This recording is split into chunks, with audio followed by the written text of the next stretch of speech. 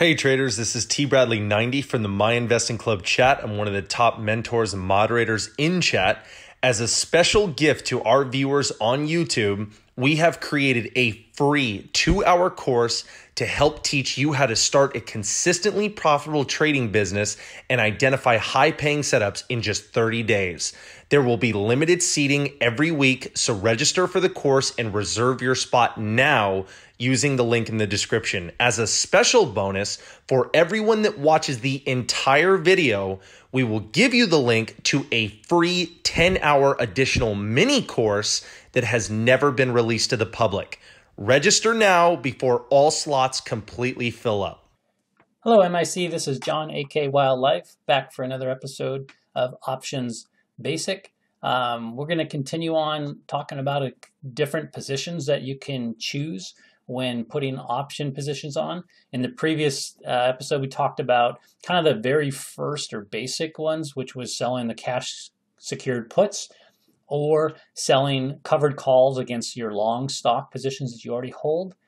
Uh, the next ones that we'll kind of get into in this case is uh, kind of vertical spreads. And the, the first few we'll talk about are bullish positions. And the great thing about options is you can create whether you're bullish or bearish, um, you know, a vertical spread, whether it's calls or puts, truly just by your strike selection. So in this case, we're going to talk about the bull call debit spread. Uh, it's always a debit and, uh, to initiate position because you're you're buying a long call, you know, that's that's you know less than the short one that you're selling. So I have my Tastyworks account over to the left. You can see it. Uh, I talked about it in the previous episodes. It's a it's a really good visual tool that I use to kind of help uh, set up trades, kind of see where the delta is at. What happens if I move this around? You can drag, and you know you can see down here on the bottom it says five dollars and sixty cents for the debit. So we're going to talk about uh, setting up, you know, we're going to give an example of the different uh, positions that we're going to set up here. So in this case, you know, we're going to long one um, 60 call and short one 65. So it's always the long is going to be the, the lower of the two. So I have the app, Apple ticker pulled up right here. It closed at 261.78. So in this case, since we're looking at calls, we're going to buy the 260, which is in the money because it's below you know, the 261.71. So in this case, uh, the at the money, in the money line, depending on whether it's a call or put, right, is is going to be this quadrant is in the money in calls, this quadrant over here is in the money in puts because of the this, the price of the current stock right now. So we're going to buy the 260, we're going to sell the 265. That's this example right here in real life. And then the, the current pricing is $2.50. So what so, you can do is you can move your call around. So instead of you know, buying a lower one and selling a higher one, you could flip it, right?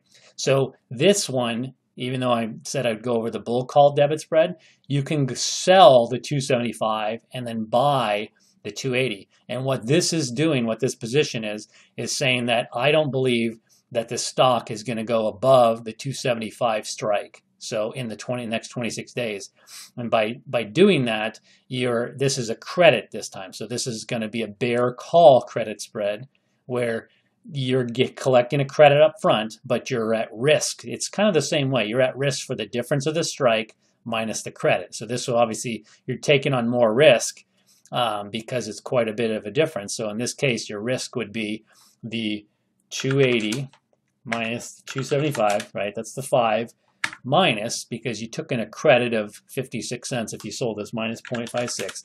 So you're taking on $440 of risk, but the odds of this of this stock getting all the way to 275 are is is low because that's just you know the the nature of this. It's you know it's uh, quite a few points. So in this case, it's let's see 275 minus like we'll just round it to 262 so it's like 13 points above where the current price is so that's that's why this is a higher odd but you're you're you're you're taking on more risk because of the odds are in your favor. So there's an 83 83% chance that this strike if you sell it or set it up this way will stay out of the money. That's this OTM percentage.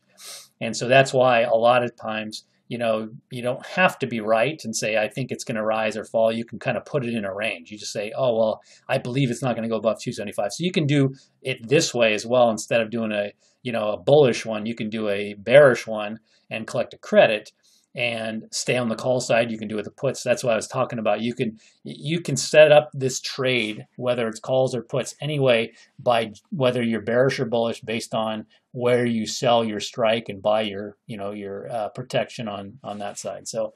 Um, I'll go over it more down the road. This is more kind of the first step of, of that. And um, yeah, that's the that's the basics of that one. And um, and so the other the other one, so we've talked about the call. So the other part uh, that is a bullish would be a bull put spread. These are kind of a pretty common one um, that people like to do. And same thing. So they are going to sell. You know, you're going to sell one Hey traders, this is Tosh. I go by T Bradley 90 in the My Investing Club chat. Just wanted to reach out and say if you have any questions about MIC, joining MIC, maybe you're a member already, you have three ways to contact myself personally and through MIC. You can hit our social media, you can hit me through PMs in chat, or you can contact us through my email at tosh at myinvestingclub.com. That's T O S H at myinvestingclub.com.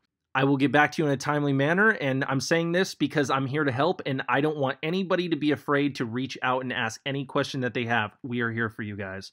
All right. See you guys.